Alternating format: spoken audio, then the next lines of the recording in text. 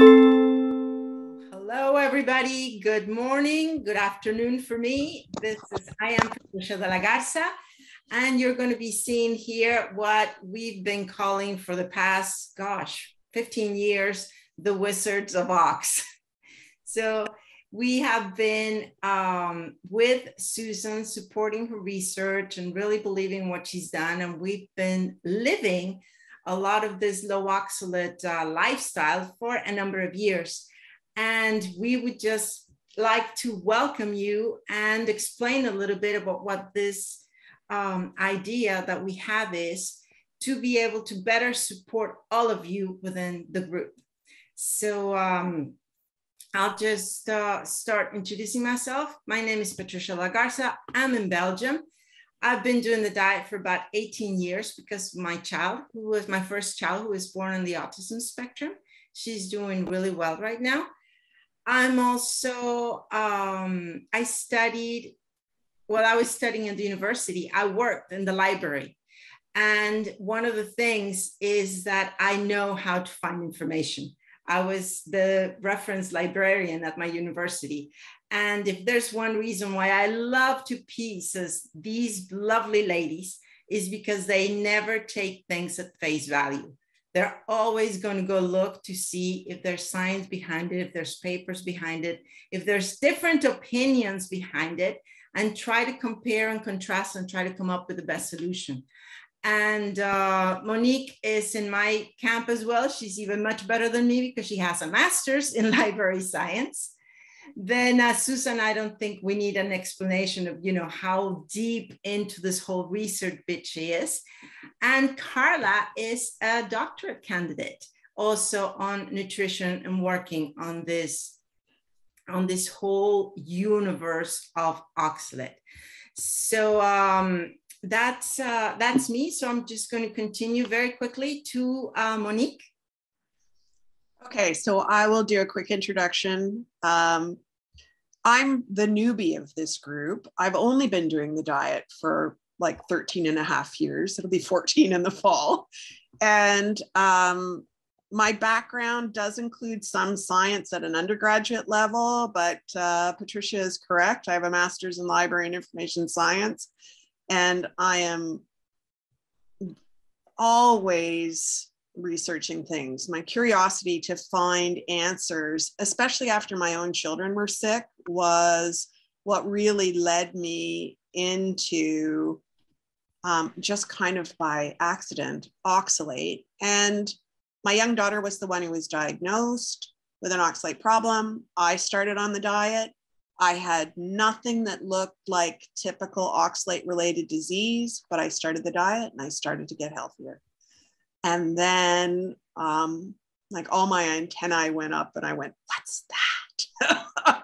and that was the beginning of uh, this journey where I now have two healthy um, children, one 16, one 21 and uh, and they have a healthy mom and so this has been amazing.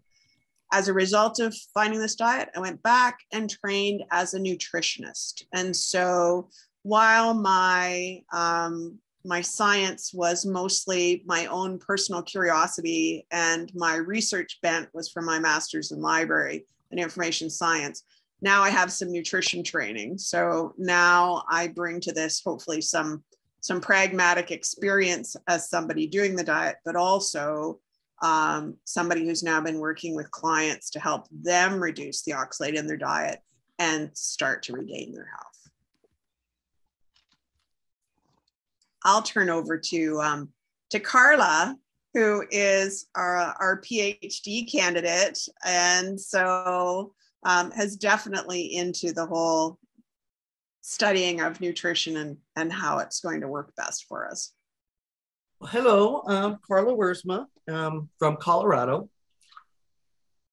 Unlike Monique and Patricia, I came into this with no science background, 20 year Air Force veteran in, in, in a field that, you know, has absolutely nothing to do with nutrition or, you know, anything really scientific Uh, I came into the diet after my son was diagnosed with autism. Been doing low oxalate for just over 14 years. And my son was really the impetus for me getting involved and then pursuing a degree in nutrition and now a doctorate. The one thing that I found was that it not only did he need it, but the rest of the family needed it. I mean, I tried it on myself before I tried it on him and and found that yeah, I needed the diet just as much as he did. The husband a little bit less so, but you know, almost 15 years later, my son is in great shape. You know, he's this diet has been such a game changer for him. I, I can't even, you know, begin to to explain just how much of an impact it's had on him. I also have two foster children. We've been on the diet with them for about two or so years, and it's helped them as well. So I don't know what else, really, what else to say. That's fabulous. No. And Susan, do you want to introduce yourself for those people that don't know who you are? Yes, well, I'm afraid this whole project started back when I really, before I knew about it, because what I was doing was um, autism research. And my big area was sulfate chemistry. And so I was studying neuroscience and what the sulfur and sulfate chemistry would do. And as the science progressed, sulfate was understood to move around the body on the same transporters as oxalate. So then I needed to find out what oxalate was doing and realized when I got into the literature, number one, that the people in the field were absolutely not chasing any of this. And then the, I mean, in the oxalate field and definitely in the autism field, they were not. And so, um, so I started looking at the, the way that the two coordinate and I, I um, had a big meeting in Sydney, Australia, that should have been at 9 11, but that was when nobody could fly, if you remember. And, um, and so I've been at this a long time, but basically, I was coming at it from the more uh, biochemistry and biology side, just looking at how things move and how they act and how they interact. And so that's still my bent. And I really didn't expect the diet to do anything, but it was the parents like these guys that really convinced me that the diet itself had um, major changes in their lives. And so I'm still pursuing the science side of how everything interacts and all of that. And there's a terrific uh, interplay between what diet does to your biochemistry and what your biochemistry does to your diet and how you absorb it and all of that. So the science side just got so big and our group got so big that um, I was kind of delighted that all of these lovely people got their, their um, children grown up. so instead of being so busy doing all the parenthood things, they now are kind of branching out and um, more thinking about what they can do to expand the um, capabilities of a group. And I'm just so pleased to see their initiative and um, getting more audio and video and things like that to be more useful to everybody. Absolutely. And I think some of the, yeah, and some of the improvements that we've had, you know, Karla and I at least, you know, way back when in the autism world, where many, many of them were unheard of. So we had growth and we had weight put on and we had, you know, incredible executive function and all these things. But something that was really important as well was that we started, you know, the group was never an autism only group. And everybody is started learning from each other. So many of us had kids, well, at least I did, that had a non-verbal child at the beginning. And so for me to understand what she was feeling was impossible because she couldn't explain it. And uh, until I started doing the diet as well. But then um, when you start hearing people explaining about what their feeling was then everything started making sense and you could start using those experiences from all sorts of different diagnoses to um, to help into this one pot of knowledge basically. So that's um, that's a little bit where the group is. Now if you come in today and you see you know thousand messages ever so often from people from all over the place whatever. Sometimes it's hard to understand what's happening what you know how to make the best for um, of all of the information. So that's the idea for this particular video. So i think can i say, can I say yes. something?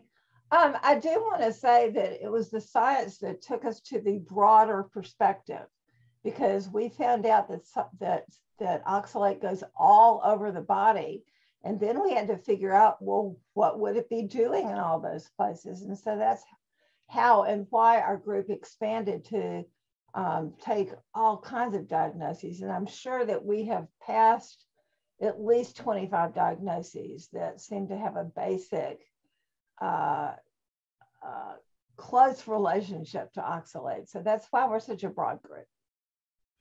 Exactly. And now we're going to understand that there's actually like two main areas of study that we're doing. So one of them is the one that Susan is going to be really concentrating on, which is all of the, you know, metabolic biochemistry, hard science, very involved type of um, scientific research. And what we're going to be involved in, which is actually the implementation of a low oxalate diet.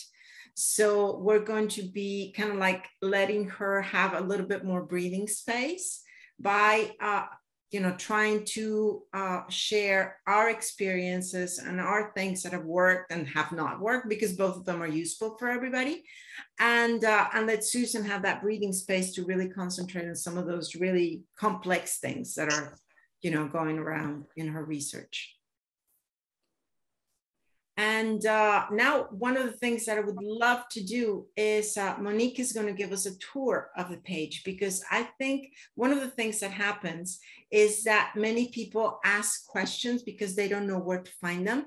And I think we're going to make like a little baseline, say, you know, video of what the different possibilities are to find the information, where the information store, why is it there, and just I think it's just going to give us a very good overview, and then we'll just go into the spreadsheet with Karla. All yours, Monique. Okay, let me share my screen so that everybody can see this. Uh, uh, now. Okay, so I'm sharing my desktop. Let me get up the group. So um, I guess I'll have to move things around a little bit so that people can see things. But here is the Trying Low Oxalates main group. I'm gonna have to get my, I'm gonna have to close this down a little bit. Sorry, folks. So that I've got the ability to show you what I'm after. All right. So here we are in our main Trying Low Oxalates group. This is really the hub of how you get into the structure of our um, groups overall. So we have not just this group, but we have what we call subgroups, which will be targeted to certain specific kinds of conversations. But for everybody who wants to start to learn more about trying triangle oxalates as a dietary approach or about the science, this is where you're going to start out. This is our only group that is, uh, I guess, publicly identifiable. It's not that everything that's on the group is identifiable, but you can find it by doing a search. At the current time, our other subgroups are not available. You can't see them by just doing a search. And um, that's been deliberate so that we know that people come in through this funnel and start to learn about oxalate before they start joining in on more targeted conversations. So this group is, as Karla, or not Karla, as Patricia mentioned, we're over 47,000 members now. So that's part of the reason we're doing this. We want people to kind of understand what, what we're trying to get at with the structure and also with the group itself. We do have um, an about section. So if you're looking at the top of the group, you can see our lovely picture of an oxalate crystal here. And then you've got a number of links, and this is to other bits of information that are right on this main group. So we have an about, which allows you to read a little bit what our idea is of what we are. Tells you that the group's private, anyone can find it, but only members can see what's in the group and what's being posted. So that's for everybody's privacy. The discussion, this page gives you some idea of topics that have been tagged.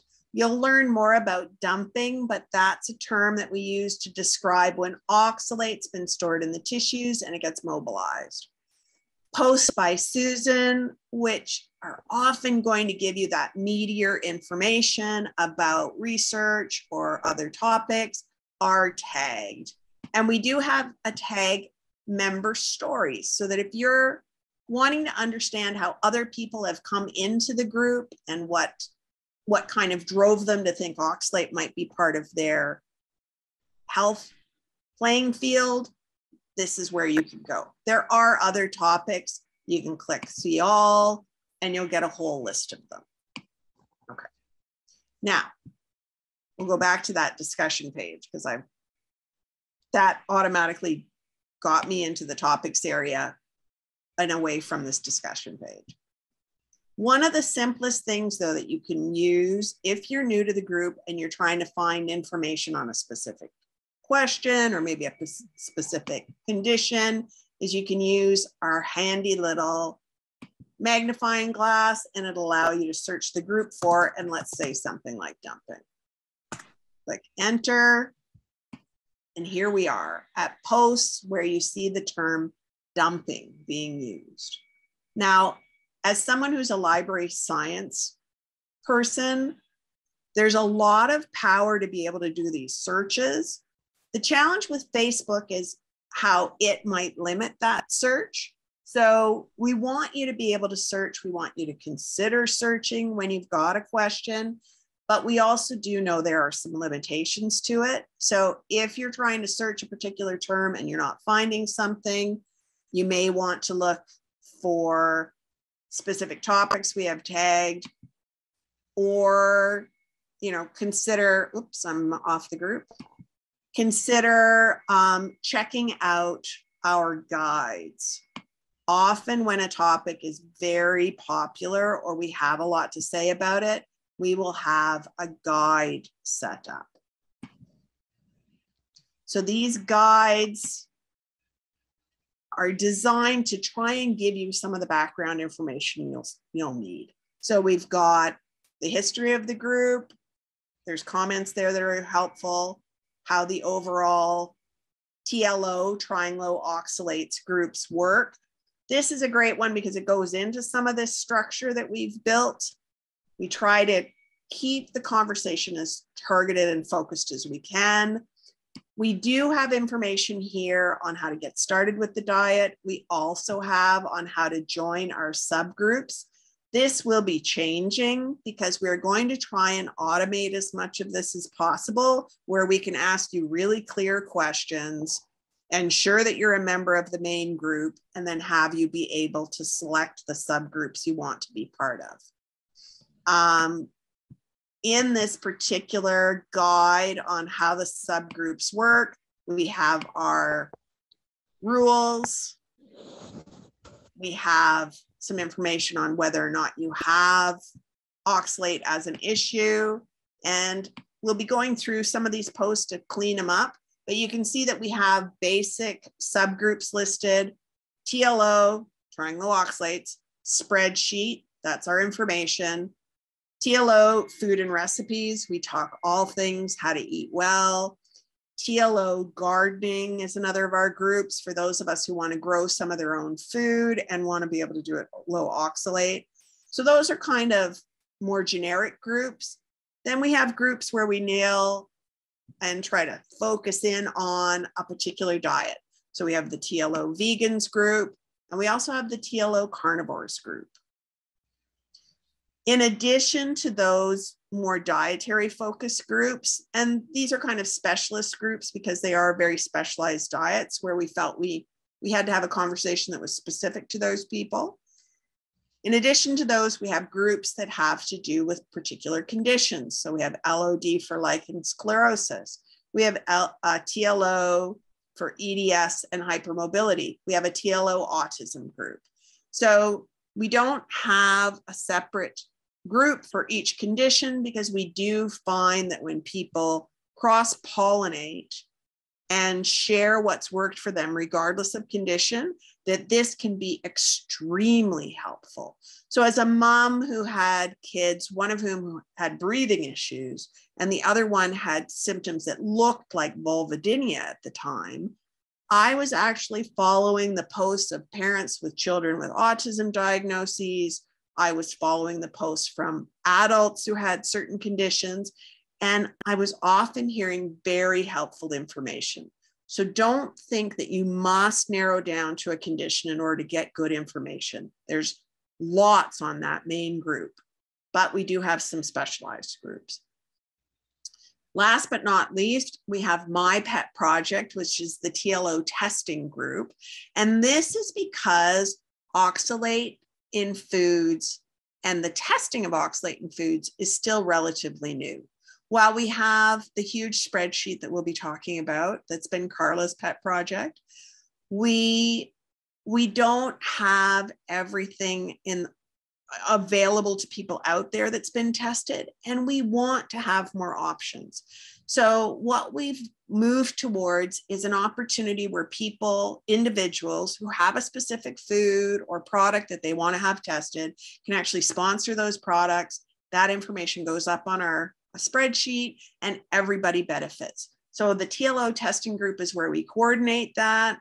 Um, and that's another one of our specialized groups that you can that you can join. So note that we do have a number of these groups and all that information about the groups and about questions that are common can be inside our um, guides here. Um, Patricia, do you have something? No, okay. I thought I saw that uh, you were unmuted. Let me go back.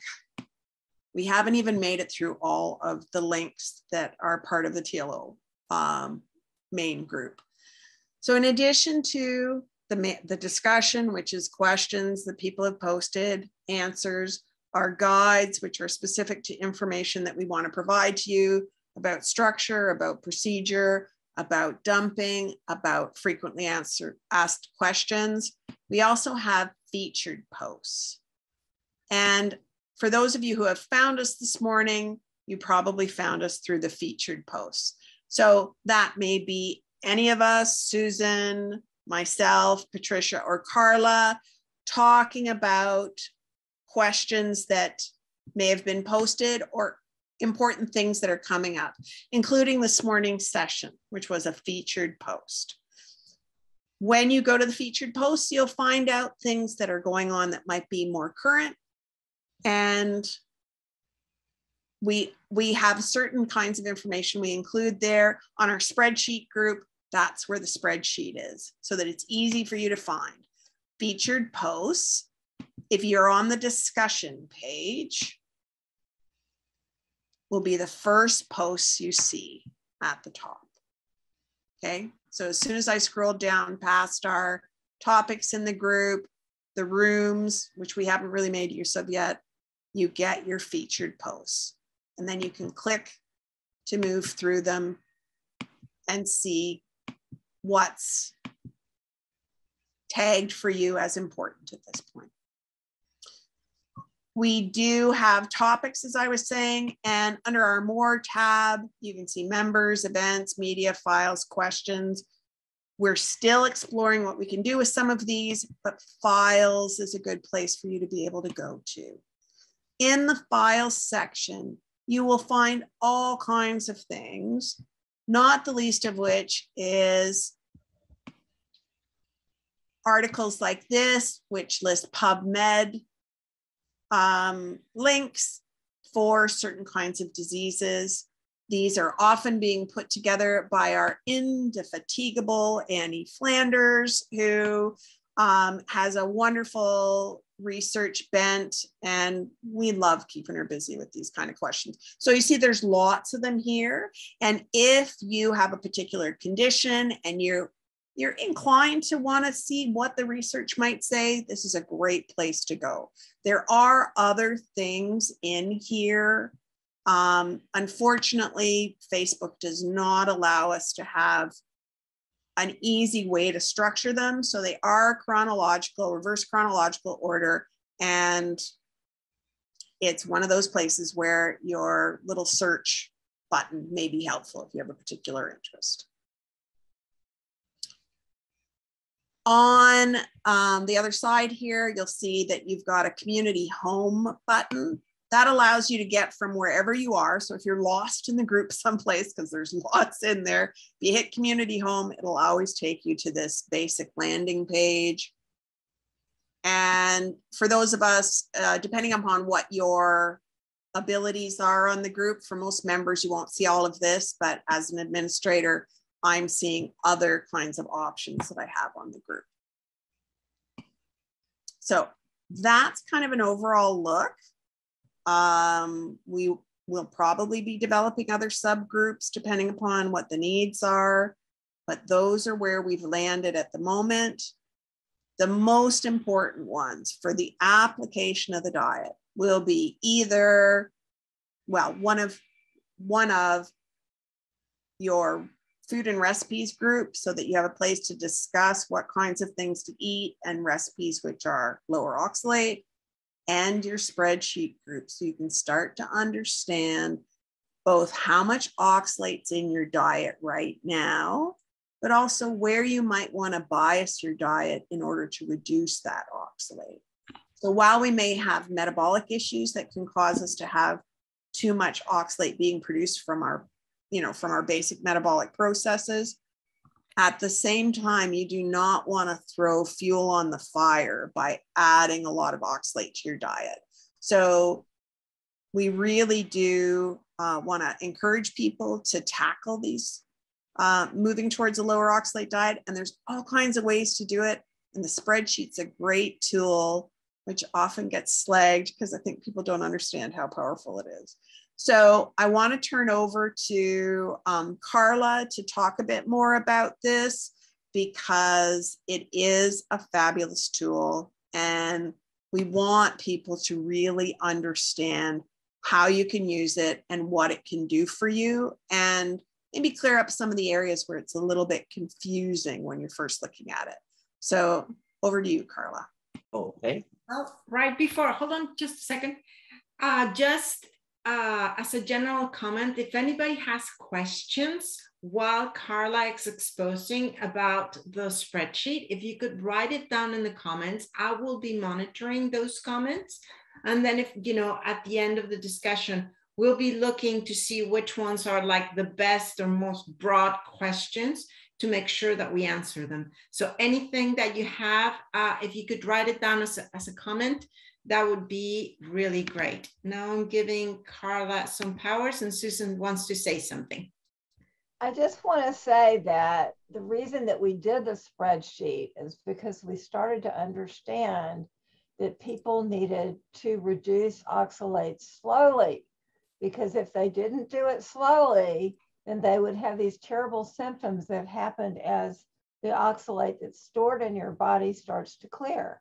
And so the more and more experience we got with this, now, you know, our, our Facebook group started in 2011, but our group started in 2005 because we were mainly on Yahoo.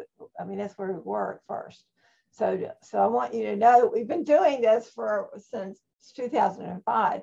And so we learned from a lot of people that if you didn't didn't slowly reduce like about five to 10% a week was about the maximum to go quickly without avoiding, uh, you know, the, the symptoms because we didn't want people to have bad symptoms.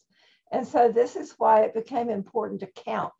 And the spreadsheet allows us to count because it doesn't matter how weird your diet is, you can find usually whatever you're eating and how much oxalate it has there.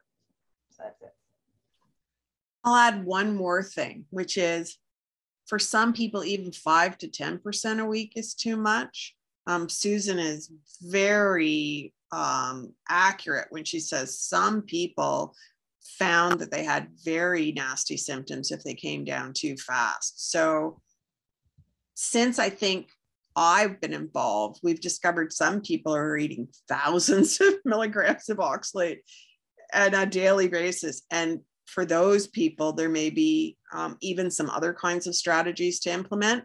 But no matter no matter how you're coming down, whether you're kind of going up and down, as some people kind of do, so come down slowly, but sort of vary or come down 5% a week or whatever you're doing, the spreadsheets your your your place to at least start to understand how much oxalate you're dealing with. And the last thing, and then I'll let Karla talk, would be actually the spreadsheet. It, don't think it is something that's work or something that's terribly complicated. It's actually a way to open the possibilities of food that you can eat. And I think that's really important. I think one of the biggest um, risks of this diet is when you start, you know, eliminating this and this and this and this and this and that. And at the end, you end up with ice cubes and lettuce you know? And i think a good healthy diet is a very varied diet.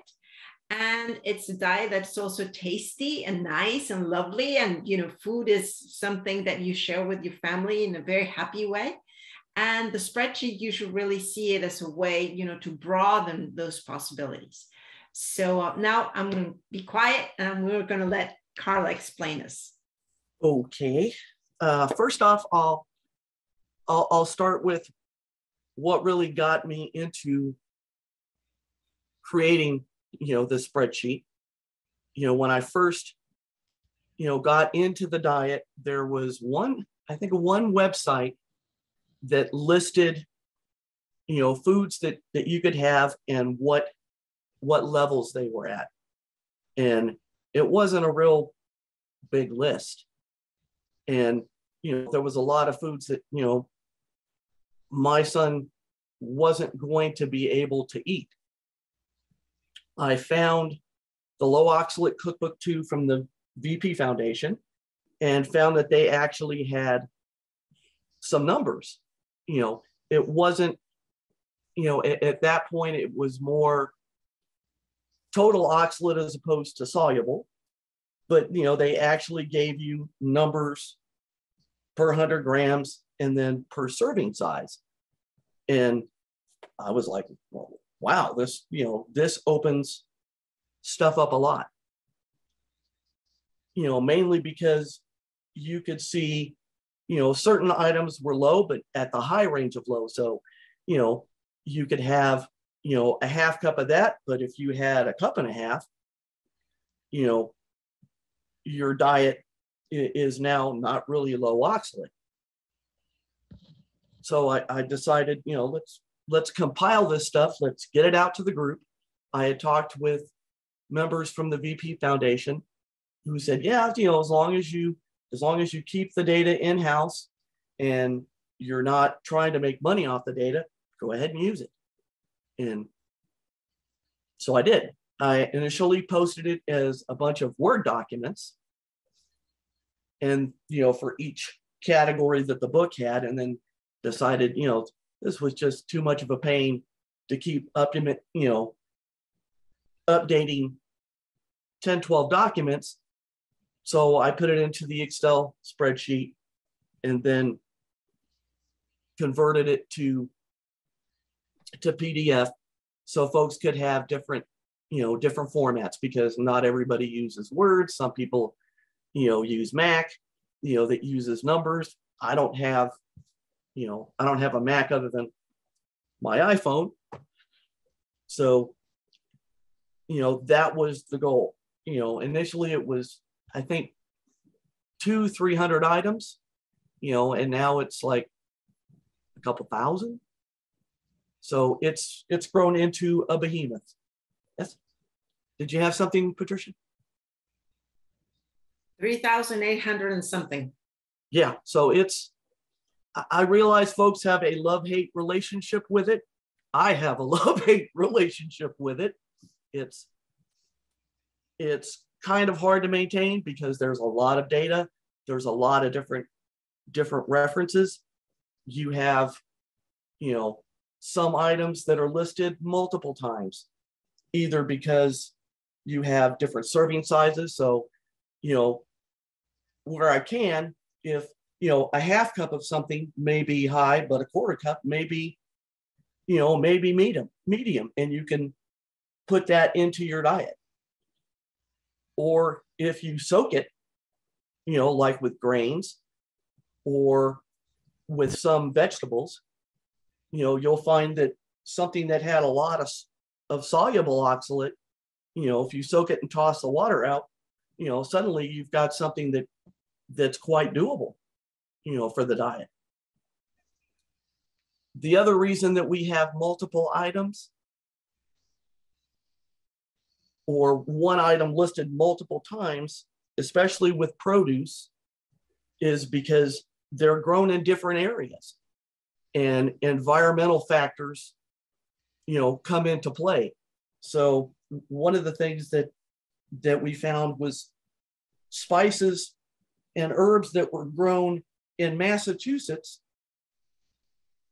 were at a different oxalate level as some grown in South Carolina. So with produce, especially with produce, you have to, to take that into account. You know, a strawberry in Cali- grown in California may not be the same as a strawberry grown in Texas, you know, based on the soil conditions and other environmental factors. So it's not really, you're not going to get one, one reading that covers everything.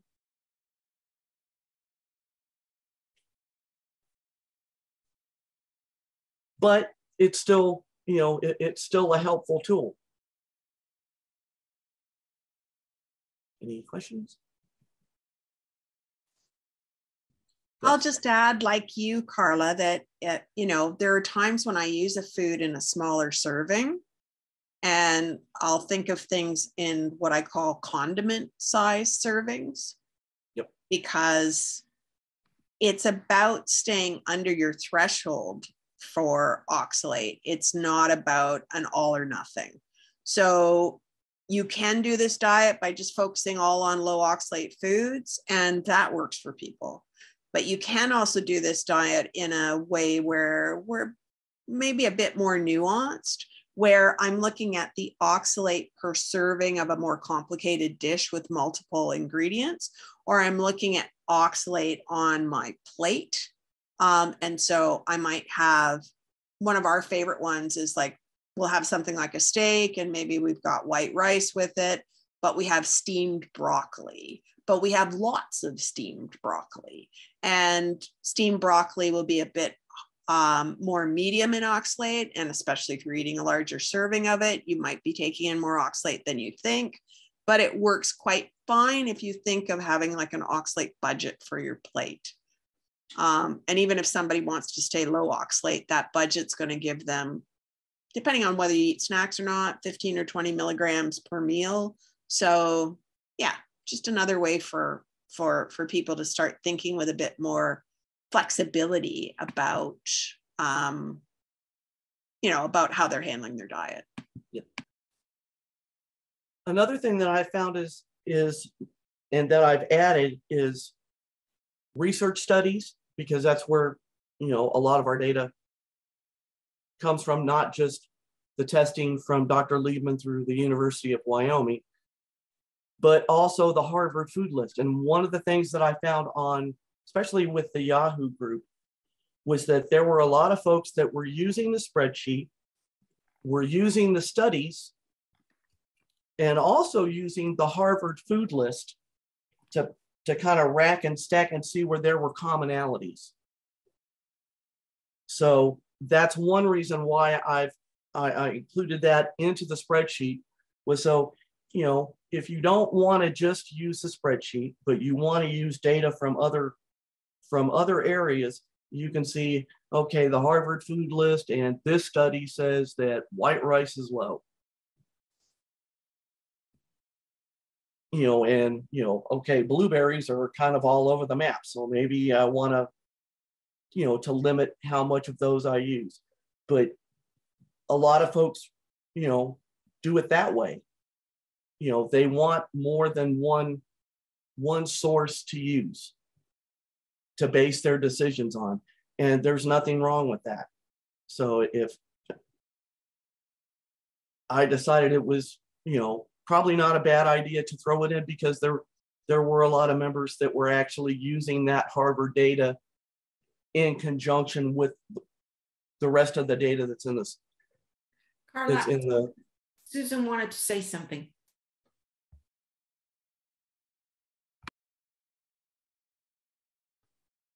I just wanted to say you have to kind of know yourself.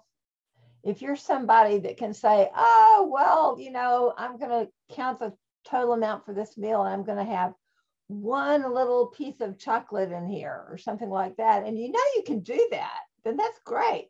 But if you get a little bit of chocolate and you think, oh, well, I can do more chocolate and more chocolate and more chocolate, you have to know yourself. So some people are different the way they handle things. And there are some people who just want to just say, tell me the foods I can eat and tell me the foods I can't eat. And so if you're doing that, then you might, you know, want to be really paying attention to the L's, the low, low oxalate things. But some of us, you know, really like more flexibility. And so maybe we're, we're going to watch our recipes and see how much there is of this item versus that item and do the math and get a get a scale and measure things, you know, on the, the weight. And that's really good for um, uh, like leafy things because you know what is a cup of lettuce? You know doesn't make any sense. Some things you just really have to weigh and that's why we also have the weight uh, there and the volume there. So you can kind of go either direction. No that that's true. One of the things that that i started out with was just serving size. I mean half cup half cup quarter cup that was that was all I went. But then I found, like you said, with produce, that can get a little bit tricky. So I basically, when it comes to, you know, grains like rice, oats, you know, even legumes like uh, lentils or, or, or peas, I'll do a half cup. But when it comes to things like lettuce, you know, broccoli, cauliflower, you know, some of the the items that are a little harder to stuff into a half cup, I go with with the weight.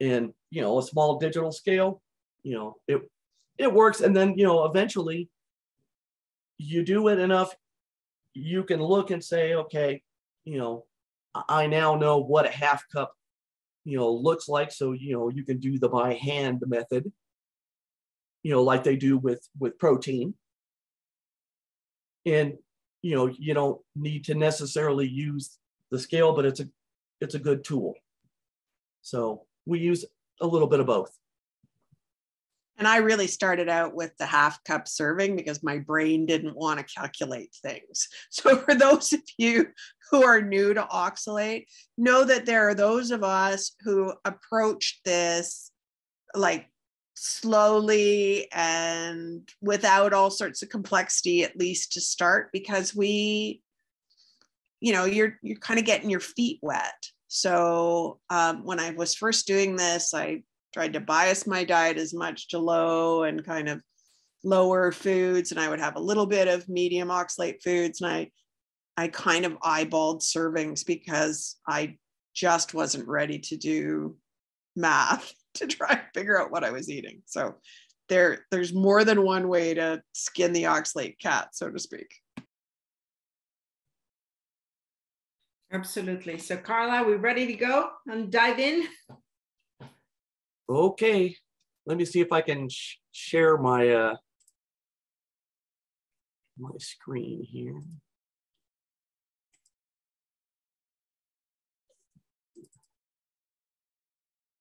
Okay, does everyone see the spreadsheet? Yes, ma'am. Okay. So this is how we started it out. You know, basically, you have your categories, you know, which can be, you know, dairy, basic items, you know, baking items like, uh, you know, baking soda, baking powder, salt. You have fruits, beverages, grains. It's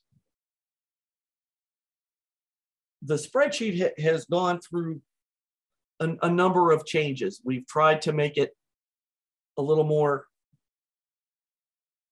user friendly so that you know all your grains are in one item your your legumes are in another item and we have a couple different formats what i've got right now is uh, a cons the consolidated one but we also have one that's tabbed by category and i'll see if i can bring that let me see if i can bring that one up too uh, maybe not oh well, we'll leave it for consolidated at the moment. So we do the dairy, we do the calc level, which is basically automated. And it takes the, the total oxalate for 100 grams soluble and the serving size, the weight, and it calculates your oxalate per serving. Would it be possible that you zoom the screen a little bit so that it's bigger because it's kind of small, or at least for those of us that wear glasses. Okay, oh, that's beautiful. That's so much better. Okay, sorry.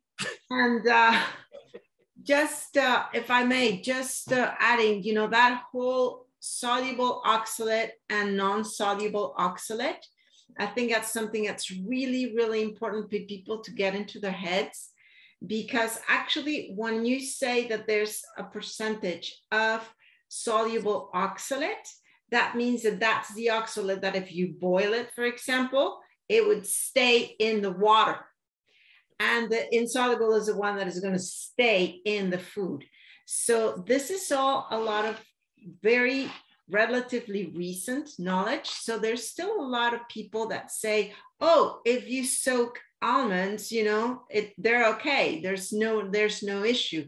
But if you see how much soluble oxalate is in almonds, you're going to know that there's still a considerable amount that's going to stay in the almond.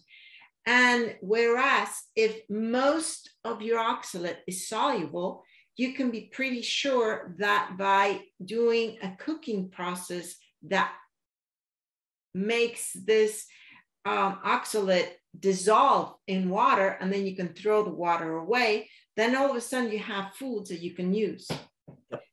It, it definitely increases increases your options. It gives you more food options. And that's the the one thing that I love the most about this spreadsheet was that it it really enabled me to give my kid more eating options. And kids on the spectrum tend to have sometimes uh, selective eating, you know, that some kids can be food restricted. And I didn't want my kid to go down that that path. I wanted him to have as many options as he could have. So, you know, enough said about that. But back to the, the spreadsheet, we have our items. Uh, one thing to note when you send an item in for testing, the more information that you can give Dr. Liebman and the folks doing the testing, the more information I can put into the food list. So if you're sending in, you know, rice, you know, what brand, you know, are there specific cooking instructions? You know, if you're sending in produce and you want it baked, you know, do you want the food soaked first? Do you want, you know, how much did you did you use? What temperature did you bake it at? You know, how long did you bake it? If you sent in items that were soaked, how long did you soak it? And what did you do with the soaking water?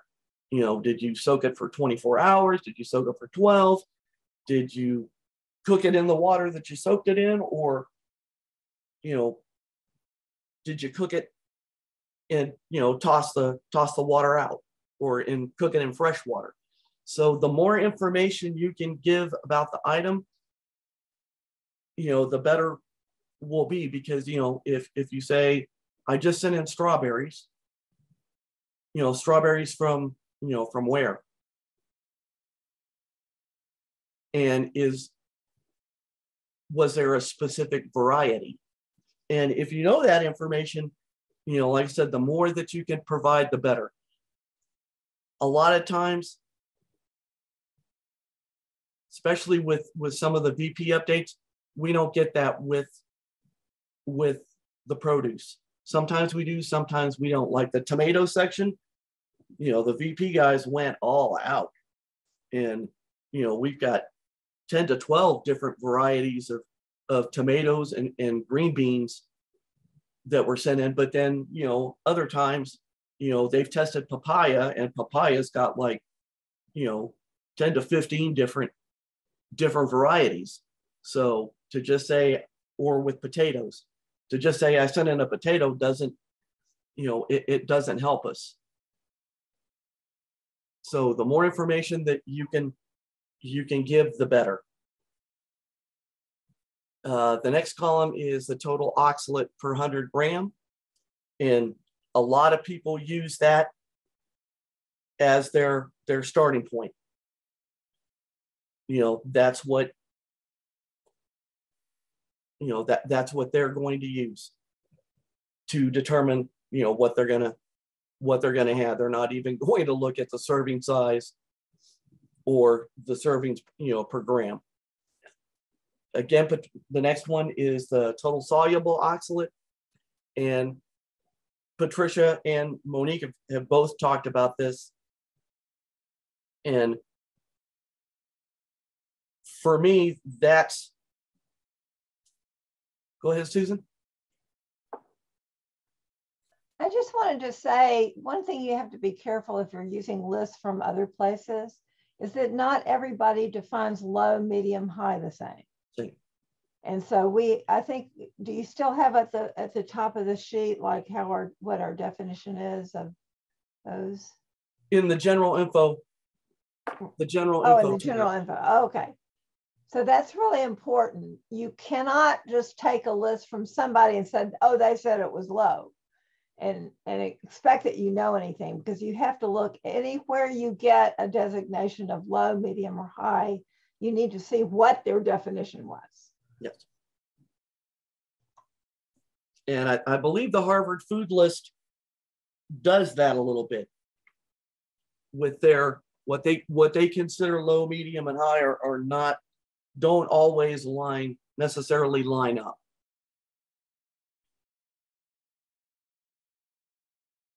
But uh, total soluble oxalate, that's a good a good thing to look at, especially for grains and some vegetables and other, you know, other produce. You know, because like Patricia said, what may be high, and we found this with like wild rice and and brown rice, it's medium to high when you cook it as is, but you soak it overnight, throw the soaking water out, cook it. And I tend to cook stuff like that, like pasta. you know, lots of water and then just toss the rest of that water out. And, you know, brown rice is, is low that way. And wild rice is borderline low medium. So, you know, those things are, are doable, you know, within the diet if, you know, if you want to do that. So, you know, it can be helpful. Serving size, pretty self-explanatory. Servings in gram. So if in grams. So if you don't want to to necessarily use, you know, a measuring cup or measuring spoons, you know, break out your scale and those are the numbers you would use. And then your oxalate per serving and the soluble oxalate per serving. And let me see if I can unhide this.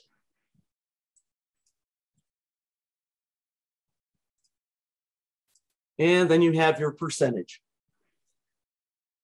One of the things that I found is even when it says it's 100% soluble, it's not 100% soluble. You're not going to, to get rid of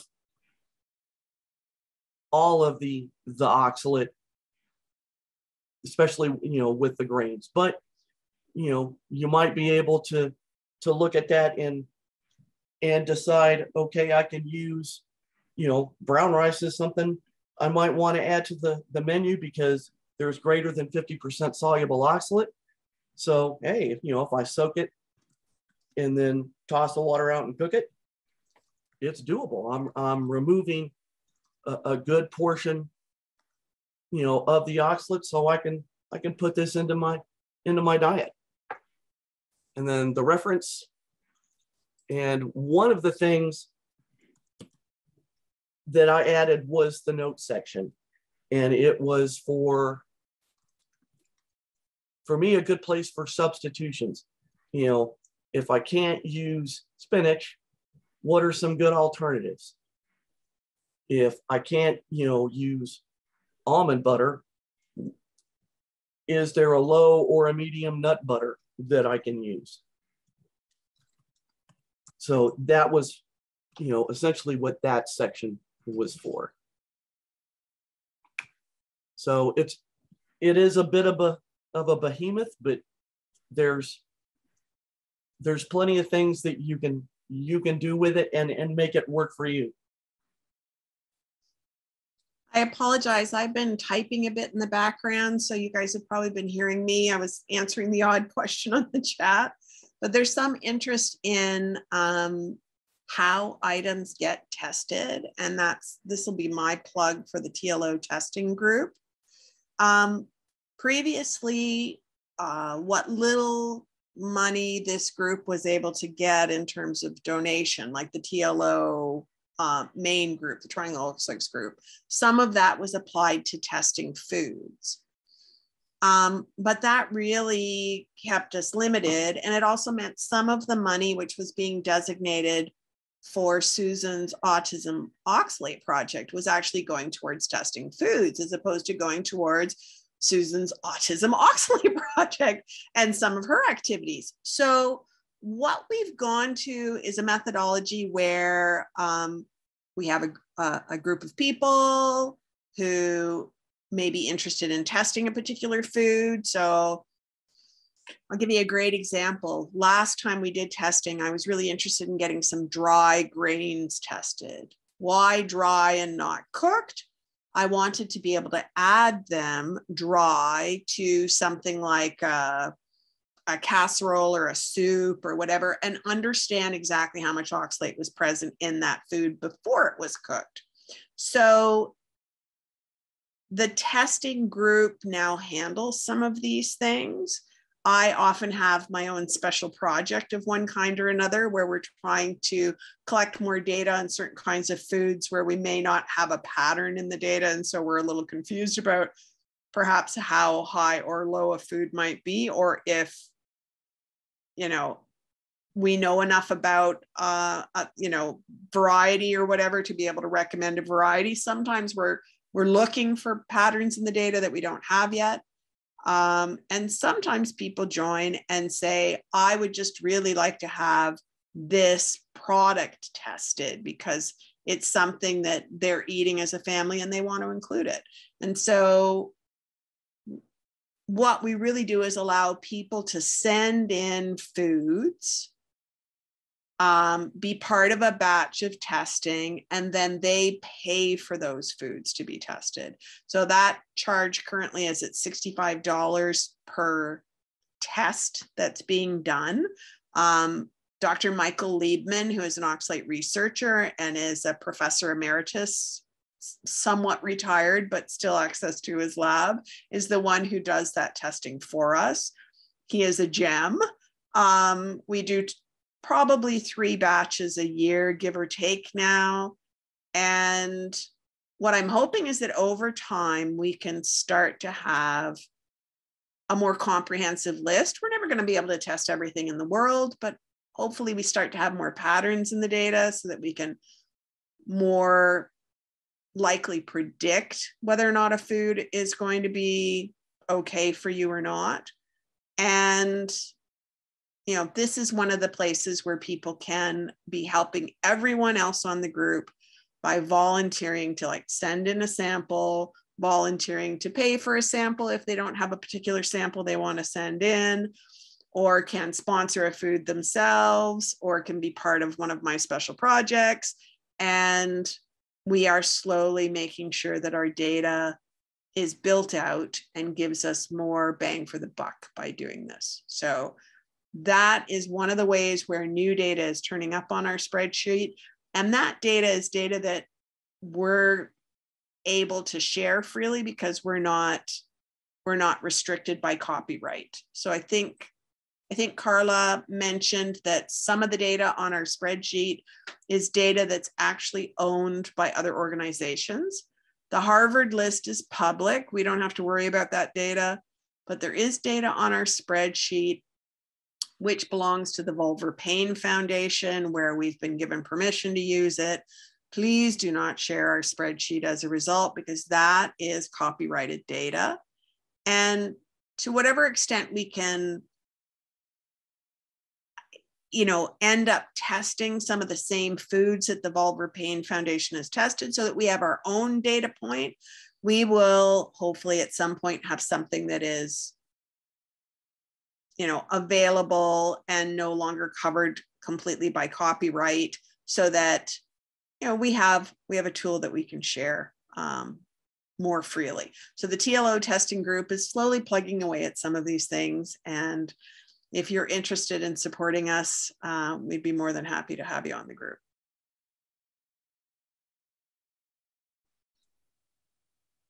Any questions wanted to share something if uh, if I could, and I'll just take a couple of minutes. You know, um, they the two lovely ladies there were talking that they work on cups. I don't work on cups. I work on grams. I weigh everything because I just find it easier to do.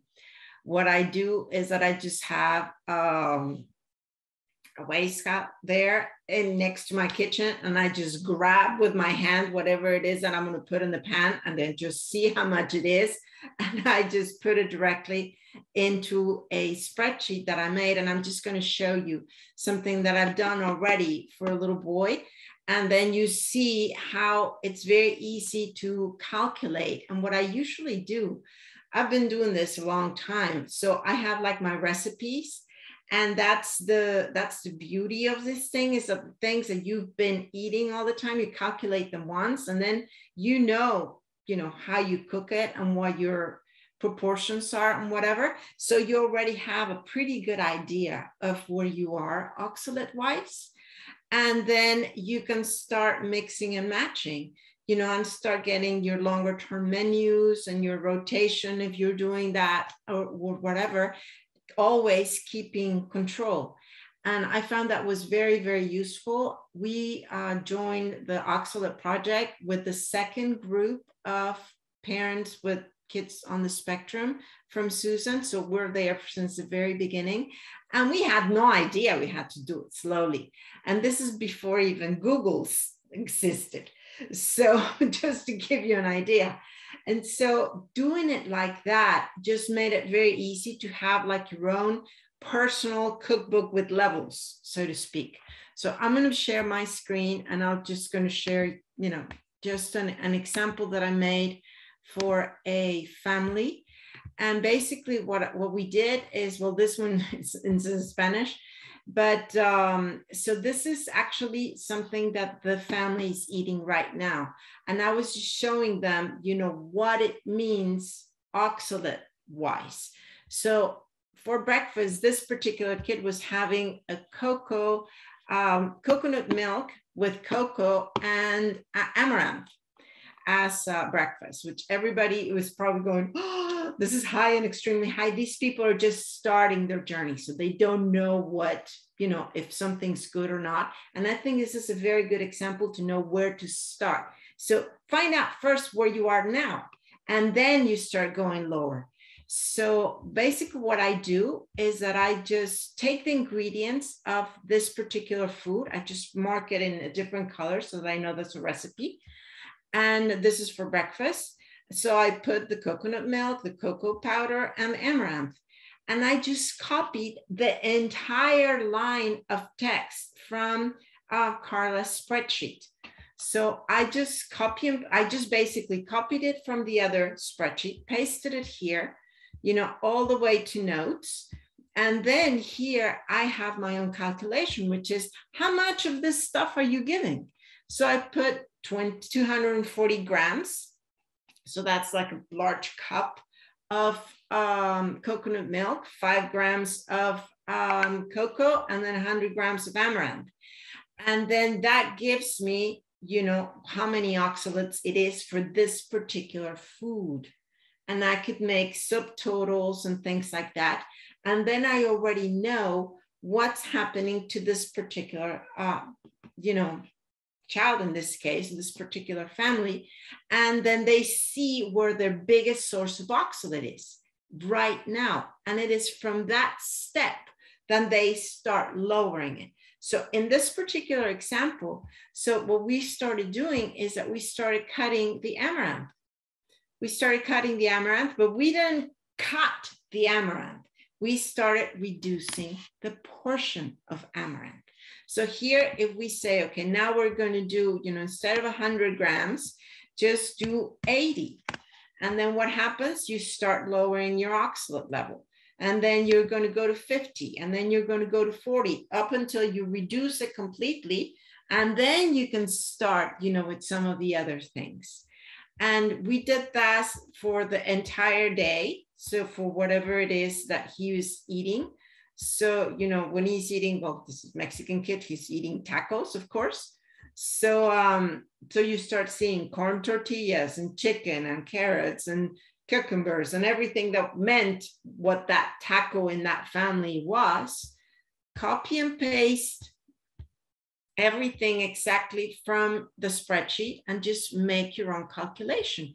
If you want to, I can just put this one also in the files of the group because I think the other point that is really important is that we do not touch the basic database because if we ever make a mistake, we copy and paste something. This is the baby that Karla has dedicated years of her life. So I feel much better just copying and pasting into my own database. If there's a problem, I can always go back to the correct source of information. So I think that is Yes, Susan. Oh, you can just, no, you can just uh, unmute yourself.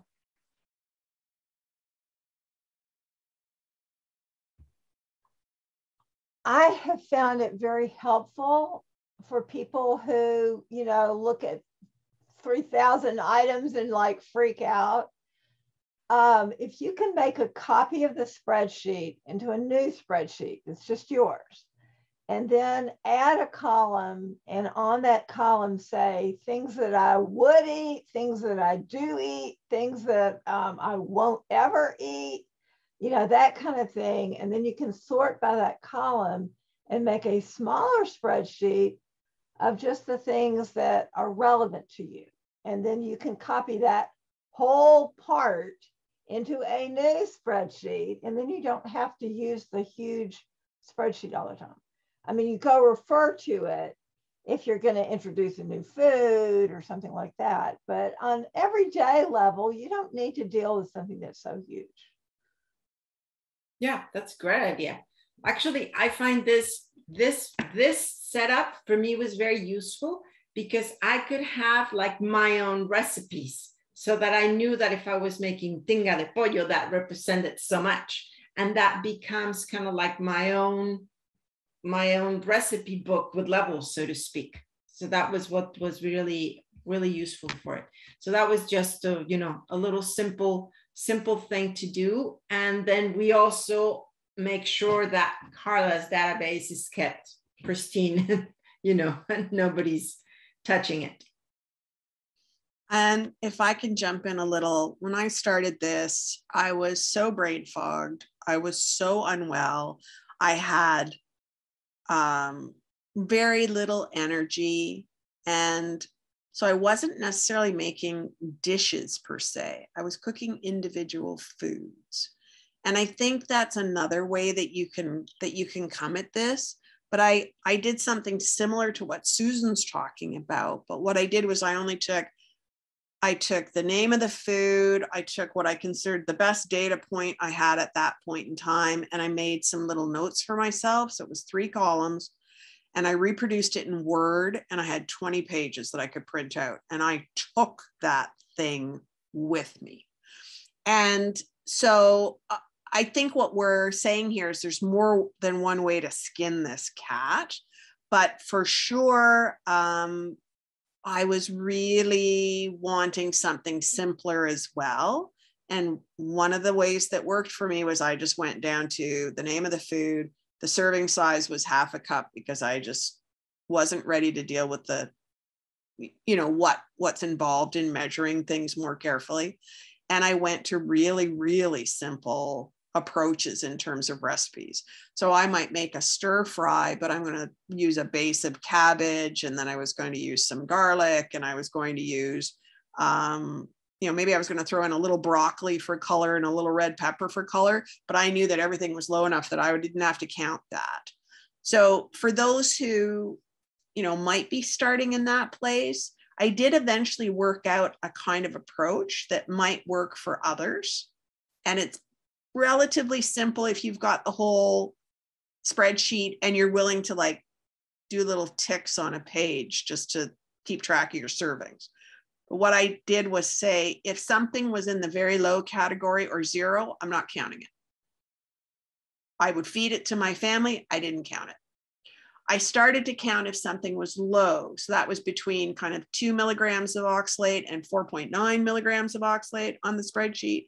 And I and I said to myself, okay, three to five of those will work.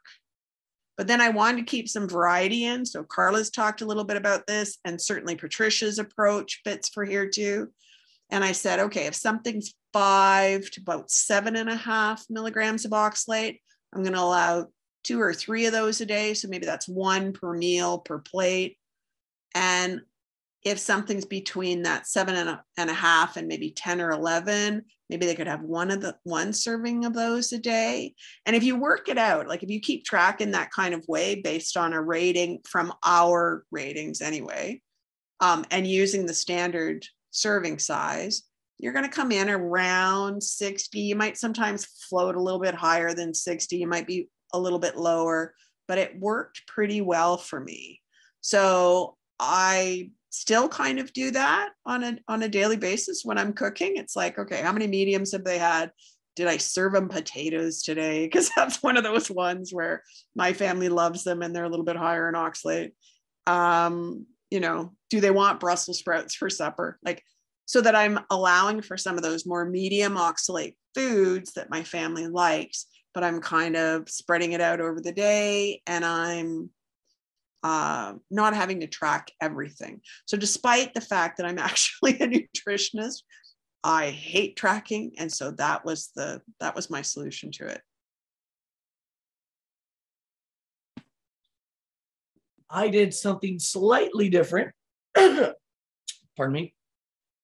But this was more to get my family a little more active into the diet as opposed to me saying this is what you're going to eat. It was a, a good way to teach my son about the diet and get his get his buy-in so that he understood you know i can't really be eating peanut butter you know because peanut butter cookies ouch so i did two week meal plans and i would tell the you know tell the kid and tell the husband pick out you know meals that you want me to convert to low oxalate or to medium oxalate. And we did. So I would create recipes, put, you know, put the numbers in. And, you know, this is, you know, medium per serving or, you know, this is very low per serving. So, you know, I could throw in one that was, you know, maybe a little closer to high and, and and still meet all the numbers. So like Monique said, there's there's a variety of ways to skin this cat. And it worked, like I said, it, worked really well for my family because when it got the husband's buy-in, because he could still have some of the foods, you know, that he liked. He's kind of a meat and potatoes guy, and we all know how potatoes can be kind of disastrous. And the kid who was gluten free and dairy free and low oxalate, you know, would give me some some good challenges. You know, can can you make me low oxalate and dairy free goldfish? You know, stuff like that. You know, I can't have chocolate. Can you can you make me some low oxalate brownies that kind of sort of taste like chocolate? That kind of stuff. And that was a huge that was a huge benefit for him. You know, one of the things, the best things is I don't worry about, and I didn't worry about after one or two minor disasters with him, you know, that, that he would cheat. You know, he had the whole week pancakes, the triple stack, and and went through serious pain. He had, you know, the grandma sized peanut butter cookies. And after one or two episodes of that, you know, he figured out, yeah, that ain't a whole lot of fun. So he would, you know, when they had stuff going on at school, he he would ask, is that gluten free? Is that dairy free? Ooh, can't have blackberries. You know, let me let me call my mom and see whether I can have these or these low oxalate or not. You know, is is this doable? So it, you know, it got his buy-in and that was it was worth all the you know let's let's see if i can make this low oxalate just to to teach him that you know it's not as it's not as difficult you know as you make it you don't have to deprive yourself there there are plenty of ways to do it yeah, same here. We converted as many recipes as possible for family favorites to low oxalate.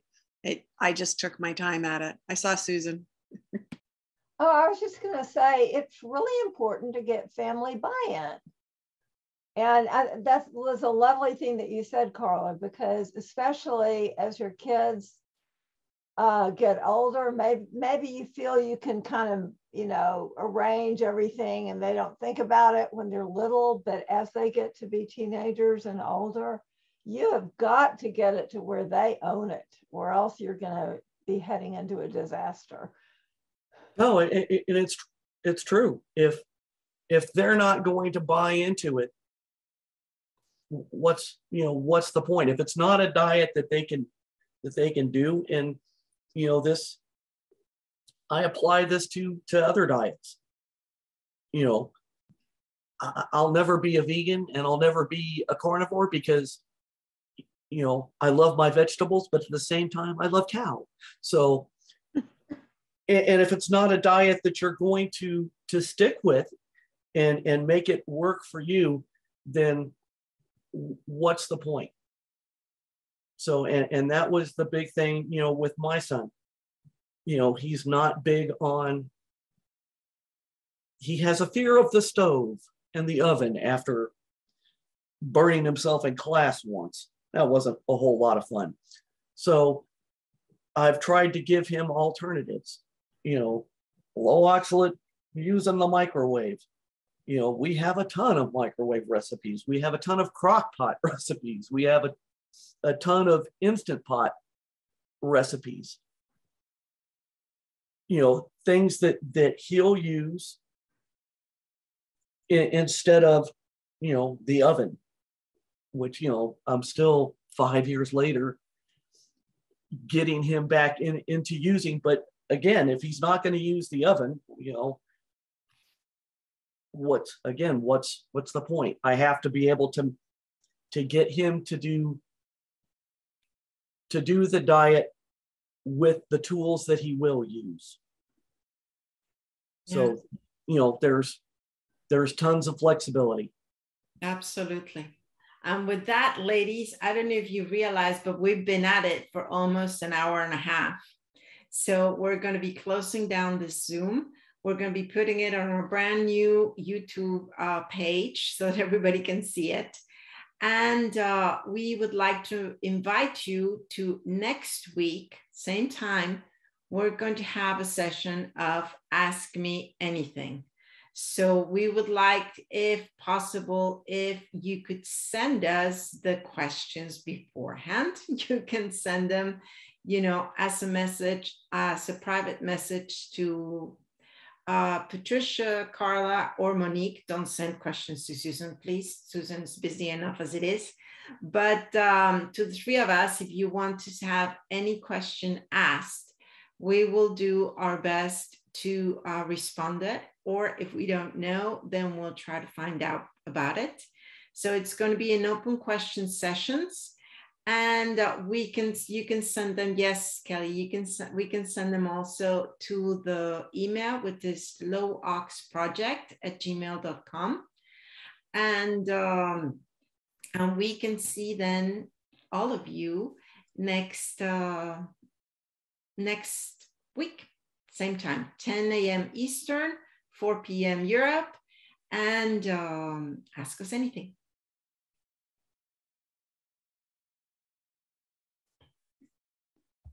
Okay, thank you, everyone. It's been great to kick off today, and uh, you'll be hearing more from us. And thank you for the kind comments that I'm seeing happen in the chat.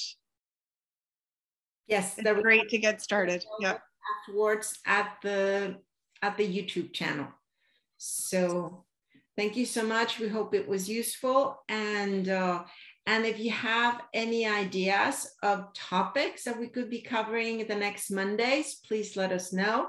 Some of the ideas that we were thinking about were things like uh, my best recipe or my best substitution or you know how to recipe hack or how to calculate this whole thing or best birthday cake that's low oxalate and gluten free and whatever.